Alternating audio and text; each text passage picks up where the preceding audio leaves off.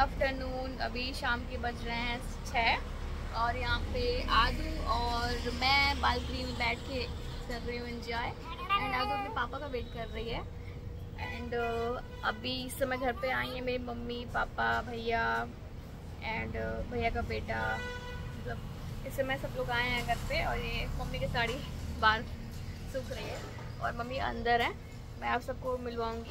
Actually mummy papa को अपना दवा लेना था काफ़ी दिन से आ, मम्मी का शुगर भी बढ़ गया था और बीपी भी अप डाउन होता रहता है तो ये बोले कि चलो यहीं पे दिखा दिखा दे काफ़ी दिन से परेशान थी तो इसीलिए आए हुए हैं सब लोग। तो चलो मैं दिखाती हूँ आपको। आदू दे देखो। आदू दादी को नमस्ते की हो? हाँ दादी को नमस्ते की हो थैंक यू दादी को। थैंक यू दादी को।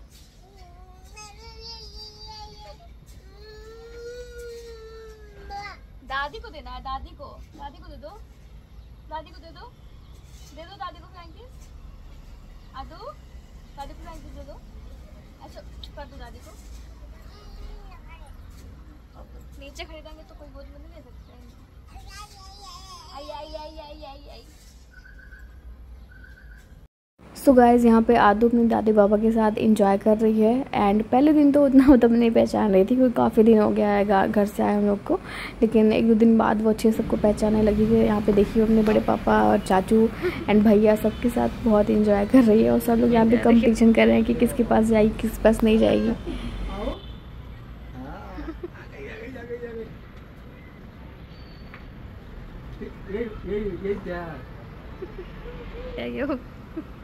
Ayo. Aduh. Ayo. Ayo.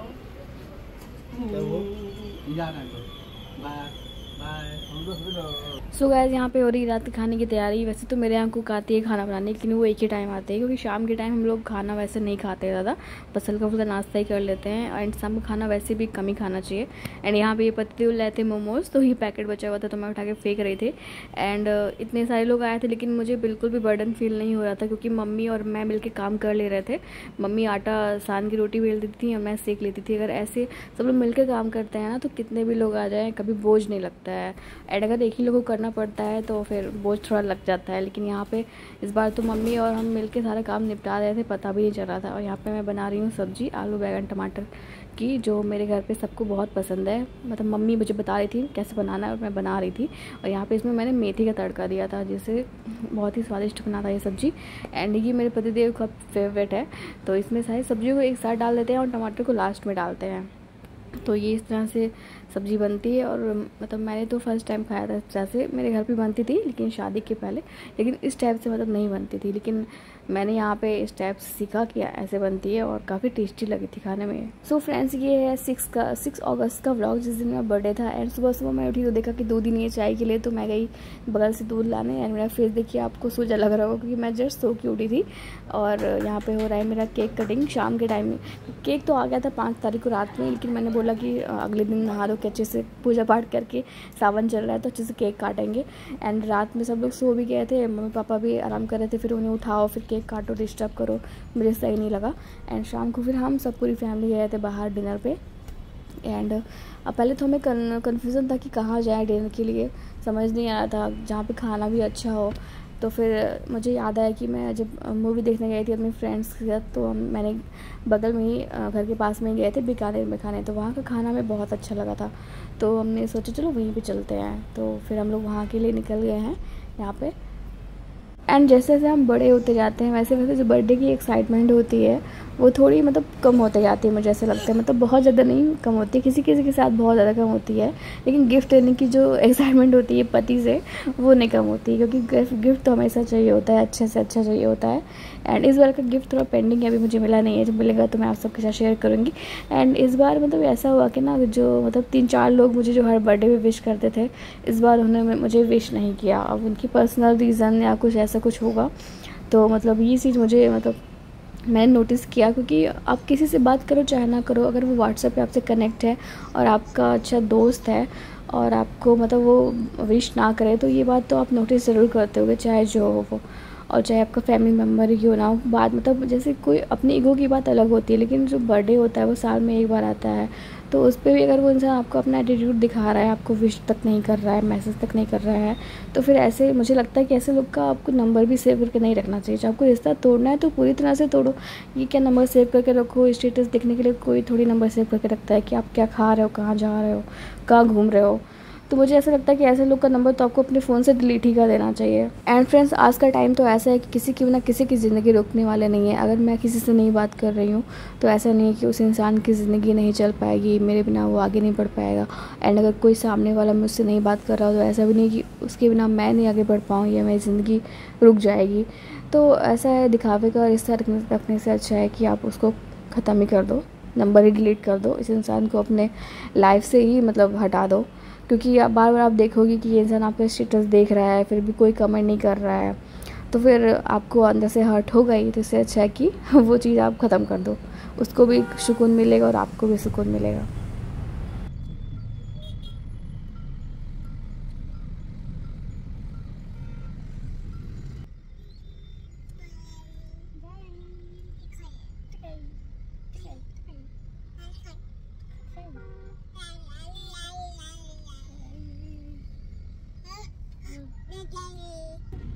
क्या खाओगी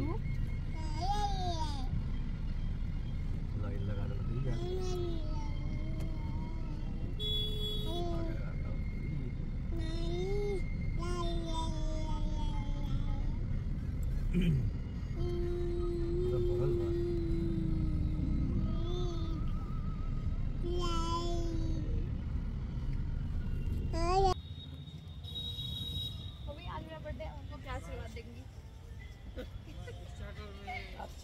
रहो तो आशीर्वादे तो ये देंगे कि लोग अच्छे से हँसी खुशी रहो। हँसी खुशी रहो लोग आगे मैं पढ़ा जा। भैया आप हमको क्या आशीर्वाद देंगे? आज मेरा बर्थडे है।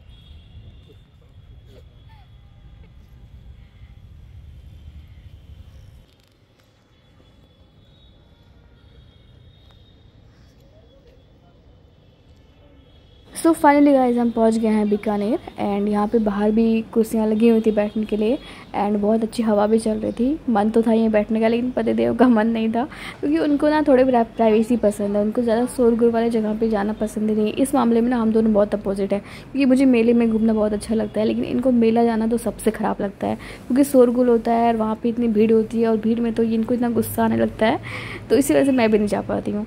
तो यहाँ पर सबसे पहले मैंने ऑर्डर की थी पापड़ी चाट जो बहुत ही टेस्टी थी और यहाँ का पॉपी चाट मैंने एक बार ट्राई किया था, इसलिए मैंने दोबारा मंगाया था।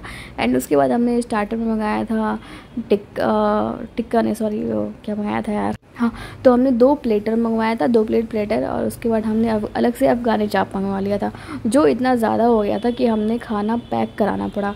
खाना मतलब हमारे टेबल पे आ चुका था, लेकिन हम देख के ही मन भर गया, फिर हमें अलग से बोलना पड़ा क्या ये सारा खाना पैक कर दीजिए, हम लोग घर जाके खाएँगे। एंड उसके बाद खाना पैक कराने के बाद हमने खाई थी आइसक्रीम, मैंने ये फालूदा। एंड पेट इतना ज़्यादा भर गया था कि फालूदा खाने का भी मन नहीं कर रहा था, मैंने तो पानी पी पी के इसको ठूसा अंदर, क्योंकि पति देव से डांट पड़ जाती। कितना सारा ऑर्डर करवा लेती है, और जब खाने का टाइम आता है तो फिर तुम लोग का नाटक शुरू हो जाता है। एंड सच में गाइस मतलब जब खाली होता है पेट ना तो लगता है कि क्या क्या खा लेंगे, लेकिन जब खाते जाओ खाते जाओ तो पता चलता है कि नहीं हो पाएगा।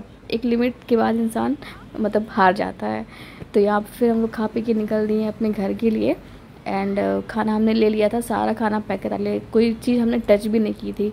और खाने में हमने पनीर की सब्ज़ी ऑर्डर की थी, कढ़ाई पनीर की थी और दाल फ्राई था और तंदूरी रोटी थी और लच्छा पराठा था एंड राइस था सैलड था, इतना चीज़ था तो हमने सब पैक करा लिया था।